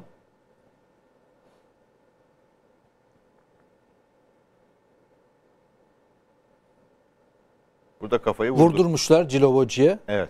ama çok da rahat bir vuruş şansı vermemişler. 51. dakikada yine bir tane daha var. Ha var mı? Pardon Max- ben bir e, korner sanıyordum. Maxim yine. Bakalım. Yine tane Galatasaray savunması aynı. Yine adam adama eşleşme yok. Yine iki hattalar. Yine iki hattalar. Yine benzer şekilde altı pas köşesine yüksek gönderiyor Maxim. Bunu çalışmışlar. Yine geriden geliyor. Güçlü geliyor, yüksek momentumla geliyor ama marka o kadar iyi alıyor ki pozisyonu. karşılıyor. Yükseğe sıçrayan oyuncuya vurdurmuyor. Ama demek ki Galatasaray'ın rakibi Gaziantep şöyle bir duran top çalışması yapmış. Erol Bulut demiş ki altı pas köşesine yüksek atalım. Oraya geriden gelelim. Koşarak, yüksek momentumla sıçrayarak gelelim, vuralım. Birine vurmuşlar, birine vuramamışlar. Yani bir çalışma var. Erol Bulut'u tebrik ederim. Altında bir şey var. Set var, strateji var. Öyle bir şey varsa ben saygı duyuyorum. Başarırsın ya da başaramazsın ama bir set çalışılmış. Bir sonraki e, bundan sonraki köşe vuruşları Beşiktaş derbisinden gelecek Bakalım. ekranlara. İlk olarak Pjanic. 10. Su verebilir misiniz bana arkadaşlar rica etsem? Bir e, şeye geç ha. Kullandı, karşıladı ilk korneri. Şimdi Beşiktaş'ın çok sıkça yaptığı, başarılı da uyguladığı ön direkten aşırma denemesi. Necip alanın dışına koşmuş. Korner doğru bakın. Bazen spor severler bunu anlayamayabilir. Bu başarısız bir korner değil. Bu başarılı korner. Çünkü Necip doğru yere koşu yapmış. Top doğru yere gelmiş. Sadece kafasını sıyırttıramamış. Çünkü bir 30 santim aşağıda kalmış. Yoksa strateji doğru. Galatasaray bu kornerde zafiyet gösteriyor. Mesela bunu sanabilir ki futbol sever Galatasaray bu korneri karşılamış. Öyleyse başarılı sanabilir. Hayır. Galatasaray bu kornerde başarısız. Bak Necip doğru yere koşu yapmış. Yedlin uyanamamış. Necip aşırsa pozisyon. Galatasaray'ın alan savunması zafiyettir bu. Aynı Sadece top biraz piyanın için attığı top bir 30 santim aşağıdan gitse Necip o topu aşıracak. Bak Necip bomboş. Aşırmaya müsait bir şekilde Evet, gidiyor doğru. oraya. Kime attılar? Böyle gol arka direkte hatırla. Attılar zaten. Attılar. Necip aşırdı. 14. dakikaya gidelim. Yine Galatasaray attılar ya. Zaten yine şimdi göreceğiz. kullanacak.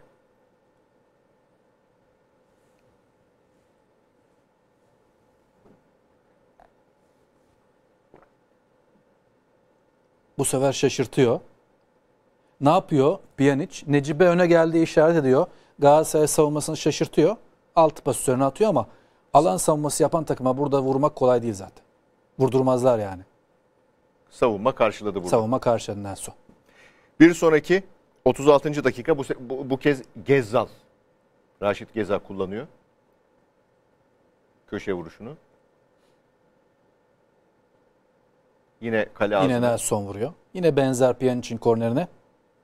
Altı pas ön çizgisi üzerine. Yani orada kalecinin almasını beklersin ya da bazen işte Nelson vuruyor. İki topa da Nelson vurdu. Şimdi bahsettiğiniz yani Kyle attığı gol öncesindeki. Buyurunuz. Bak Necip yine ön koşu yaparken bu sefer de Berkan. Aşırdı. İlk topta ilk kornerde Yedlin'di eşleşme. Burada da Berkan. Yedlin nerede? Ha, Yedlin bu sefer Larin'le eşleşip Larin'i kaçıran. Arka direkte evet. Şurada bak kaçtı. Ya ben bunu anlayamıyorum. Beşiktaş'ı tebrik ederim. Sergen Hoca'yı, Necip'i, Larin'i. Defalarca bunu yaptılar. Gökhan Gönül'le yapıyorlardı. Şimdi Necip yapıyor. Yıllardır. Ama rakiplerinin buna özgü bir çalışması olmamasını da anlamıyorum. Yani Necip bak birinci defa gitti oraya ata- attırabilirdi ilk yarıda. Ya daha önce çalışmadıysan bile maçta da mı fark etmedin? Değil mi? İlk yarıda bunu yaptılar. Oyunculara dersin ki bak Necip ilk yarıda yaptı. Olmadı. İkinci yarıda bir daha dener dersin değil mi? Ben bunu anlayamıyorum. Yani aynı suda iki kere yıkanılırım aynı maçta. Bir tane daha kornerimiz var. Köşe vuruşumuz var yine bu maçtan. Galatasaray nasıl savunmuş ona da bakalım tekrar. Son olarak 57. dakikada.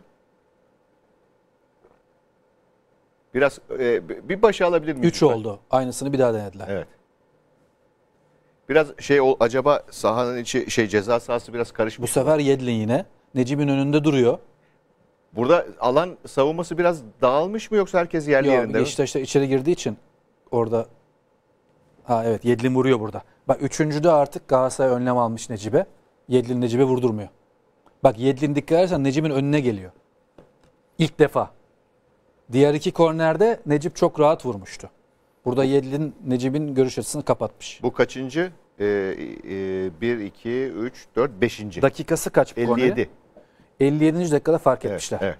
İkinci yarıda 57 dakikada çözmüşler. Değerli izleyenler hem istatistiklerle hem de özellikle e, köşe vuruşları savunmasında yani duran top konusunda yine Jürgen Klopp hocama bir selam gönderelim. Hafta sonu oynayacak derbi öncesinde Galatasaray ve Fenerbahçe'nin neleri yaptığını, nelere dikkat etmeleri gerektiğini paylaştık sizlerle. Galatasaray'la ilgili de son bir cümle söyleyebilir miyim? Ta- var birkaç tane daha gazetemiz var isterseniz buyurun. Yok kornerlerle ilgili. Ha tabii buyurun buyurun. Şimdi. Fenerbahçe korner savunmasında gösterdiği zafiyet bir, Antwerp maçında olduğu gibi alanın dışına çıkıp ilk topa vuran oyuncu ikinci pozisyon yaratabiliyor. İkinci oyuncuya fırsat verebiliyor. İki, Antwerp ve Alanya maçında hatta iki golde öyle değil mi Tolga? Antwerp ve Alanya.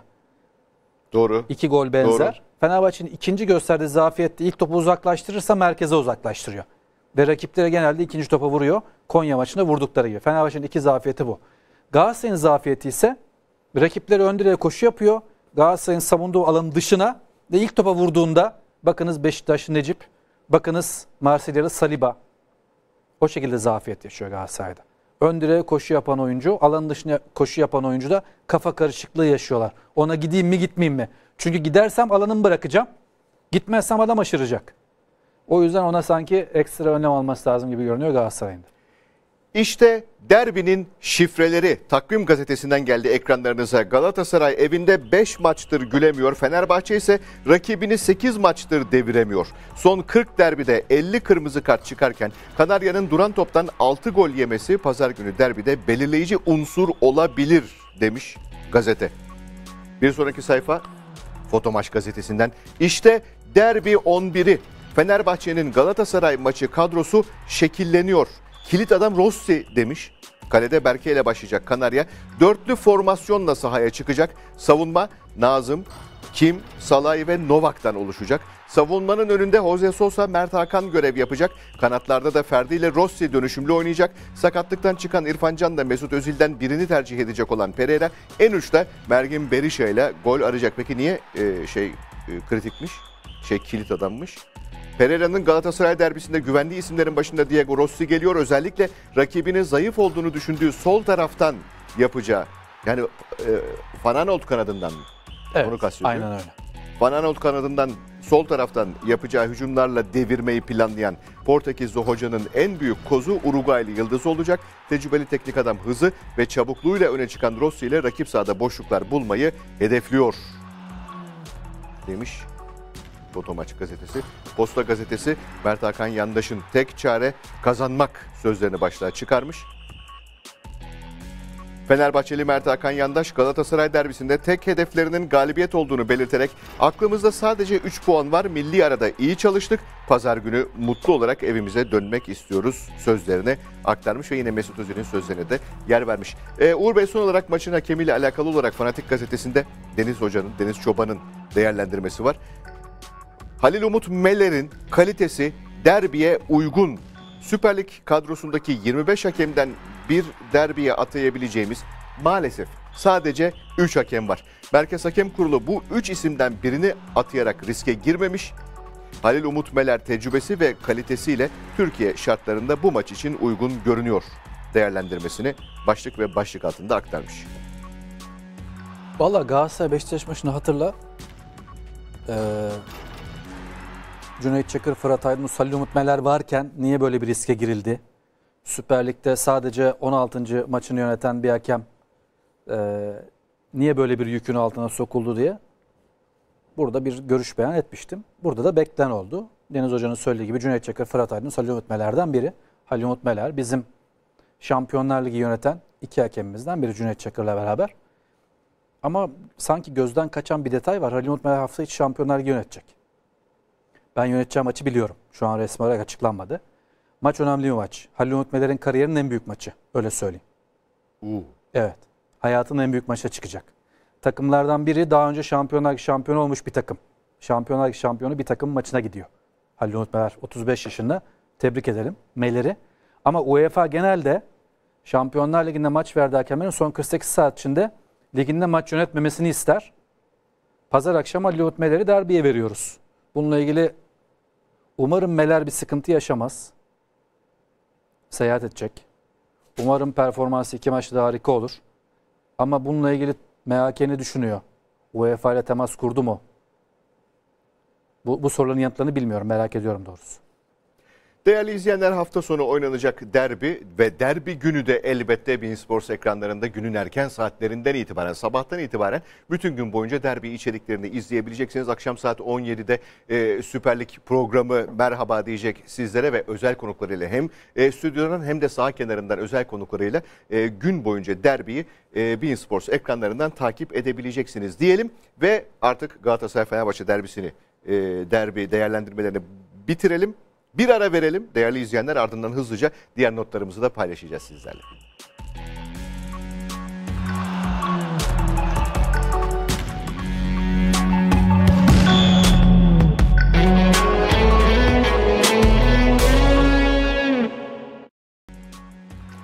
Spor Toto Süper Lig'de 13. hafta başlıyor değerli izleyenler. Hemen getirelim maç programını ekranlarınıza yarın saat 13.30'da. Atakaş Hatay Spor, Fraportav Antalya Spor'la oynayacak. Saat 16'da GZT Giresunspor'un rakibi Öznur Kablo Yeni Malatya Spor. Aynı saatte Medipol Başakşehir Demir Grup Sivas Spor karşılaşması var. Ve yarın akşam saat 19'da Beşiktaş Aytemiz Alanya Spor deplasmanına çıkacak. Pazar günü saat 13.30'da Kasımpaşa Karagümrük Babakars Fatih Karagümrük maçıyla e, başlıyor karşılaşmalar. İttifak Holding Konya Spor Çaykur Rizespor maçı saat 16'da. Aynı saatte Altay'ın rakibi Adana Demirspor olacak ve derbi maç pazar günü saat 19'da.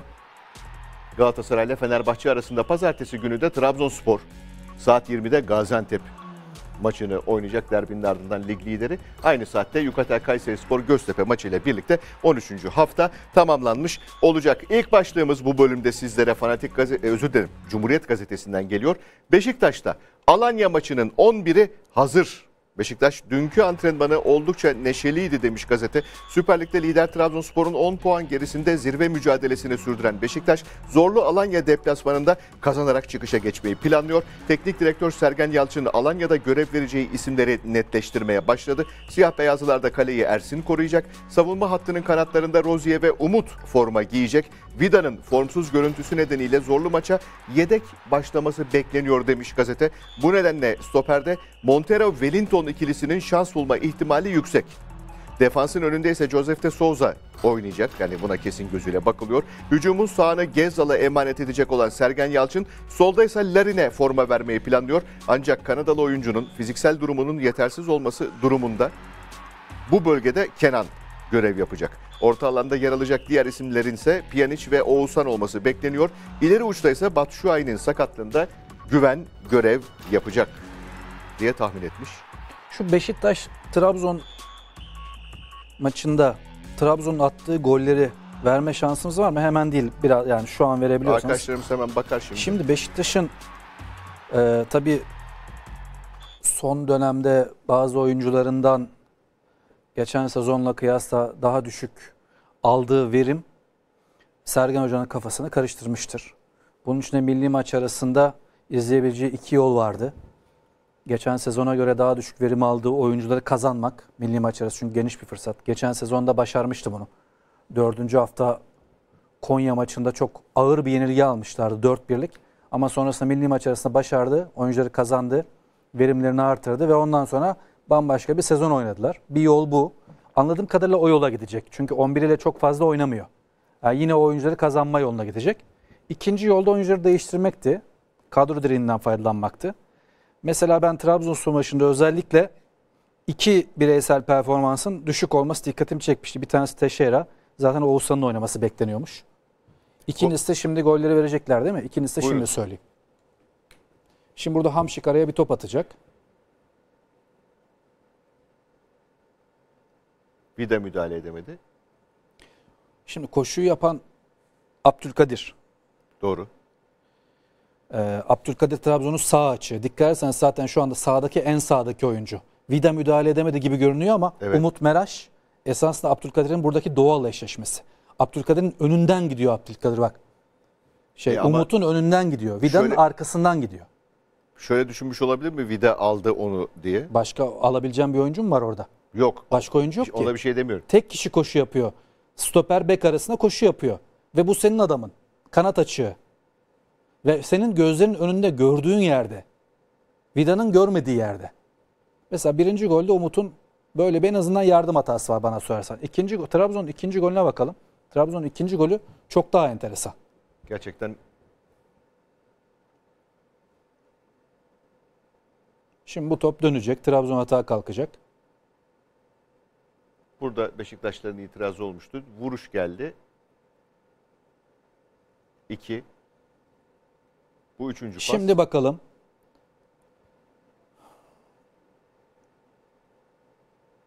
Durduralım. Durduralım.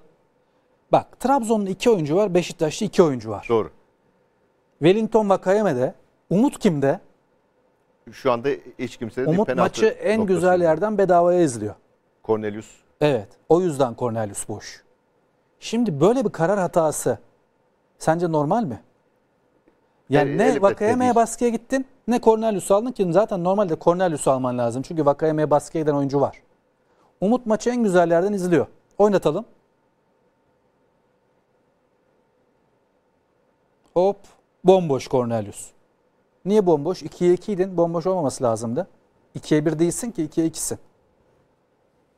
Şimdi Umut Meraş oynayacak diyor da gazetede.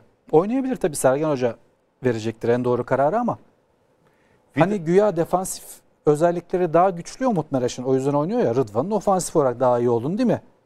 Söylüyorlar. Genelde böyle bir ayrım sanki yapılıyor ama Umut'un gerek var mı acaba? öyle diyorlar. Savunmacı olarak daha iyi olduğunu söylüyorlar. Ama Trabzon maçında Savunmacılık değil belki fiziksel olarak. tamam fiziksel olarak daha iyi. Ama Trabzon maçında Size iki olarak. golde de bak söyleyeyim yarım hata değil. Tüm hata. Bu az önceki haberde Net hatalı. gazete haberinde Vida'nın formsuzluğu diye bir ifade yazılmış. Bundan mı kaynaklanıyor? Ben E dedim yani yani Bana sorarsan birinci golde Vida, ikinci golde Wellington. Yazık oldu yani. Yazık oldu. Çünkü Umut çok çok güzel bir şekilde seyretti iki golde. En güzel yerden bedava biletle seyretti. ya ilki için bir şey diyemeyeceğim. Orada hani topun önünde e, belki Vida aldı diye düşünmüş olabilir. Bir itirazım yok senin sözüne de ama ikincisinde çok net dediğin Hayır. gibi. Birinci golde net hatalı. İtirazım Çünkü yok. benim önümde ben Umut'um. Görüyorum. Vida'nın sırtı dönük. Vida'nın arkasından geliyor oyuncu. Benim gözümün önünde bir defa hızlı karar almam lazım orada. Vida'nın sırtı dönük. Ayrıca oyuncu sağ açık. Direkt benim adamım. Ben sol bekim. Oyuncu sağ açık oynuyor. Birinci golde de direkt hatalı. ikinci golde de direkt hatalı. Ama dediğin gibi Vida formsuz oluyor. Ha Vida formsuz da olabilir ayrıca. Mesele o değil. Ama yenen iki golde de direkt Umut Meraş'ın hatası var. Bir sonraki sayfa Beşiktaş'tan Kartal'da Larin krizi başlığıyla verilmiş. Kanadalı Yıldız'la anlaşma sağlanamadı. Siyah beyazların teklifini geri çevirmiş. Beşiktaş Başkanı Ahmet Nur Çebi Larin'e yıllık 1.7 milyon euro önerdi. Yıldız oyuncu 2.7 milyon euro isteyince Ahmet Nur Çebi resti çekti. Kanadalı Yıldız oyuncunun menajeriyle yapılan son görüşmede 100 bin euro zamla 1.7 milyon euro teklif edildi. Ancak karşı taraftan 2.7 milyon euro istenince Başkan Ahmet Nur Çebi resti çekti.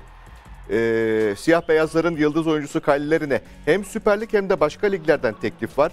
11,5 milyon euro piyasa değeri olan Lerin bu sezon siyah beyazlı formayla 12 karşılaşmada 5 gol atarken bir de asist yapmayı başardı. Tecrübeli oyuncu 2018 yılında Orlando City'den 1.8 milyon euro bedelle transfer edilmişti. Şimdi o 100 bin euro diyor ya, 100 bin euro zamla diyor ya, o 100 bin euro zam bizim için çok kıymetli bir zam yani. Yani Doğru. tamam belki 2.7 milyon euro istiyor olabilir de yani kur farkına baktığın zaman o 100 bin euro çok güzel bir para yani. Evet tabii hem e, Kulüplerin ekonomisini düşünmesi lazım bir noktada. Hem global ekonomi hem yerel ekonomi verileri hem spor ekonomisi olarak daralmak durumundayız. Çünkü çok borçlu ligimiz özellikle büyük takımlarımız. Bunu anlıyorum. Ama e, Larin'in de kat ettiği mesafe 4 yılda kat ettiği mesafe hani eksponansiyel olarak performansını arttırdı. Üzerine kat çıkarak artırdı. E, bu yılda 12, 14 ya da milli takım golüyle dünya sıralamasına falan girdi. Kanada'yı da kendi grubunda liderliğe taşıdı. E Beşiktaş'ta da iki sezondur çok iyi performans veriyor. O yüzden daha yüksek bir artış beklentisi olması normal değil mi? Normal. Normal. Yani orada sanki Larin'in istediği rakam olur olmaz onu bilmiyorum. Takım içi dengeleri muhakkak gözetecektir Beşiktaş yönetimi ama daha yüksek bir artış beklentisi olması bence normal. %100 ancak olaya bakış açımızı ben şuraya koymamız gerektiğini düşünüyorum. Kulüp yapabileceğinin en iyisini yapmaya çalışıyor. Diğer tarafta Larin de istemekte haklı. E anlaşmıyorsa yani o krizdir, bundur falan filan diye bakmamak lazım. Ya Bu, bu anlaşma meselesi. Anlaşamıyorsa şartlar belli çünkü. Yani 100 Şu bin an euro Türk takımları bu kaç para bahsettiğiniz sorunu çözmek için performans odaklı ağırlıklı kontrat yapmaları lazım. Ben sana 1.8 garanti veriyorum ama mesela işte Süper Lig'de attığın 5 gol için şu kadar bonus. Şampiyonlar Ligi'nde veya işte seneye Şampiyonlar Ligi'nde olmayabilir. Avrupa Ligi'nde attığın gol için, kazandığın maç için şu kadar bonus gibi. Bence bonus odaklı kontratlar yani sana gelir getirecek müsabakalardan gelen gelirlerin bir kısmını oyunculara bonus olarak yazmak çare olabilir. Bence Türk futbolunun bundan sonraki çözümü 2022 itib- itibariyle kontratlar konusunda yönelmesi gereken rota ağırlıklı bonuslu kontratlar. Yani garanti paraları düşürüp bonusları artırmak lazım. E, maça da hızlıca bakacak olursak eğer Alanya Spor, Aytemiz Alanya Spor'la oynayacak Beşiktaş deplasmanda e, Bülent Hoca ile bir istikrar yakalamış. Ne yaptığını, baskı görse bile ne yaptığını ya da ne yapmak istediğini bilen ve bundan vazgeçmeyen bir e, Alanya Spor'la oynayacak Beşiktaş e, deplasmanda. Son dönemde sakatlıklar vesaire çok sarstı e, Beşiktaş'ı. Devam ediyor bir kısmı vesaire. E, nasıl bir maç izleyeceğiz sizce? Şimdi Alanya Spor'un tabii Bülent Korkmaz'ın gelişiyle beraber özellikle rakipleri topa sahip olduğunda ortaya koyduğu çok başarılı bir prototip oyun var.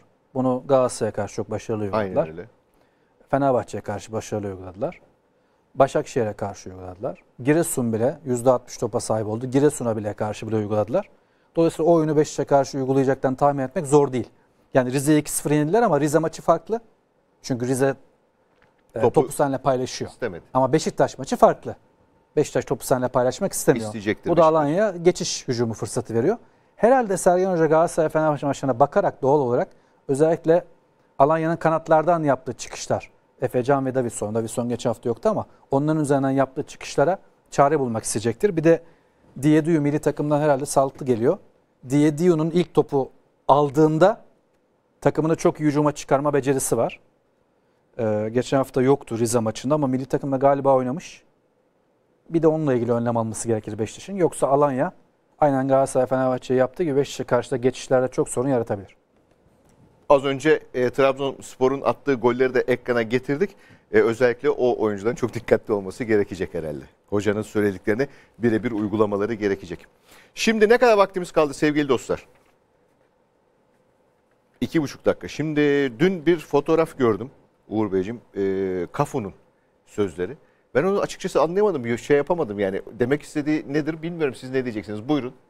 Kafu diyor ki Neymar teknik olarak Messi'den de e, Ronaldo'dan da Cristiano Ronaldo'dan da daha iyi. Bu tabi hangi bağlamda söylemiş bunu şeyini okudunuz mu siz? Ben devamına bakmadım. Bu Haaland, Mbappe vesaire soruları çerçevesinde o da yani daha önde oyuncular var. Neymar'lar, Messi'ler, Ronaldo'lar ama benim vatandaşım diyor. Sonuçta Neymar onun vatandaşı. Teknik olarak Messi'den Ronaldo'dan da iyi. Ronaldo'dan iyi olabilir. Ronaldo zaten teknik olarak bence de Ronaldo, Messi ve Neymar'ın gerisinde ama sadece e, teknik kalitenin topa dokunuş ya da çalım becerisine ibaret olduğunu düşünmüyorum. Yani doğru kararlar vermek, doğru zaman doğru yerde olmak, oyunu okumak, doğru boşluğu bulmak Messi o konularda dünyada eşsiz. Neymar'a göre bence orada fark yaratıyor. Şöyle bir denge var benim kafamda. Biliyorsunuz benim için gelmiş geçmiş en büyük, ya benim kafamda en büyük sporcu diye bir isim şekilleneceği zaman Michael Jordan geliyor benim direkt aklıma. Çünkü basketbolu, o sporu değil bir dönemi değiştirdi. Bir döneme etki etti. Giyim kuşam tarzından oyunu bir kenara bırak. Giyim kuşam tarzı, yaşam, oyun bir döneme etki etti. Birçok şeyi değiştirdi ve eğer bugün NBA'den merhum Kobe Bryant'ın da söylediği gibi e, eğer bugün NBA'den bahsediyorsak Michael Jordan'ı ve elbette arkadaşlarını bir kenara e, bırakmak mümkün değil. Messi de futbolda aynı şeyi yaptı diye düşünüyorum. Yani çok kimine göre fazla abartı gelebilir, kimine göre ne alaka diyebilir ama aynı işi yapmışlar gibi. Ölçekleri farklıdır ama aynı işi yapmışlar gibi geliyor bana. Birisi basketbolda, birisi Evet. e, futbolda hayata dokundular. Bazı oyuncular bir sporu çok iyi yaparlar. Bazı oyuncular bir sporu alırlar, oldukları yerden başka bir yere götürürler. Jordan, Maradona, Messi, Michael Schumacher bence Bu öyle bulundukları, isimler, evet. yaptıkları sporu olduğu yerden daha iyi bir noktaya götüren, geliştiren sporcular. Diyelim ve bitirelim Uğur Melek'e çok teşekkürler. Hemen kapatmamız gerekiyormuş. Değerli izleyenler bugünlük bizden bu kadar haftayı da noktalıyoruz. Tekrar birlikte olana dek hoşça kalın, mutlu kalın ve de sağlıkla kalın.